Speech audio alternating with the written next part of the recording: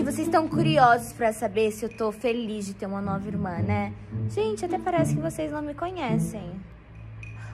Hello?